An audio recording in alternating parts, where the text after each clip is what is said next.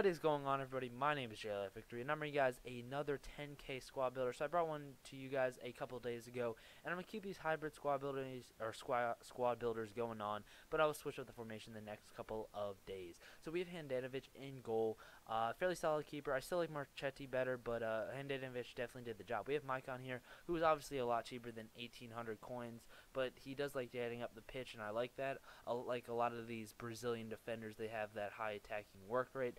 We have uh, Juan Jesus and Botin, Botin, Botanini, Botanelli, maybe I'm not really sure, but we do have some silver Argentinians in the squad, just but just because of chemistry purposes. We have Papa here as our, our left back, and he's a fairly, fairly, fairly solid left back.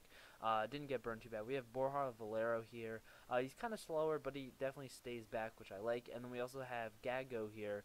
Uh, nothing that great. Uh, I do enjoy his four-star weak foot. That was pretty good. Uh, but he does only have two star skill moves. We have Par Par Paradres, Par or maybe I don't know. Uh, but he does have four star skill moves, and but I really both I really enjoy my both attacking mids. Diamante, obviously one of my favorite players. Uh, he's just great. If you guys haven't tried him out, he's great on the wing, like in a four two three one or in a four triple two, and he's great, also great central. We have Mario Gomez in this first striker spot.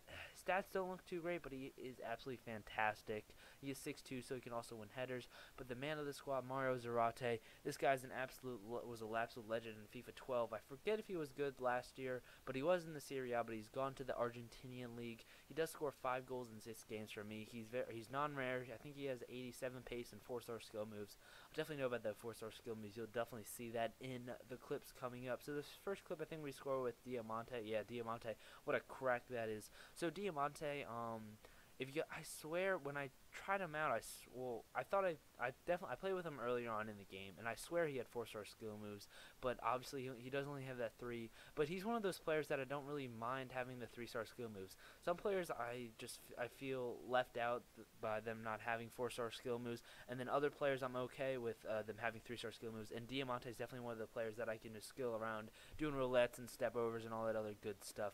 But we have Mario Zarate here doing a nice little chop managing to weave through defenders, and the keeper is just paralyzed there. Nothing he can do about that uh, shot with uh, Zarate's left foot. And then we got a nice through ball to Zarate, and he's just gonna finesse it around the keeper. So this guy, this was a fairly cheap squad. Like I said, 10k.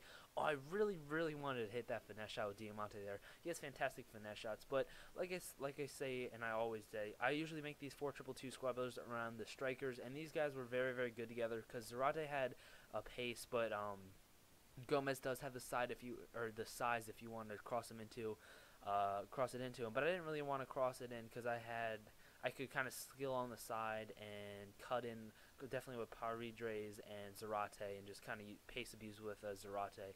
But this is going to be our last clip here from Maicon, so I ho really hope you guys enjoy this video. Like, comment, subscribe. Expect more squad builders coming out, especially with those higher rated players, and see you guys later.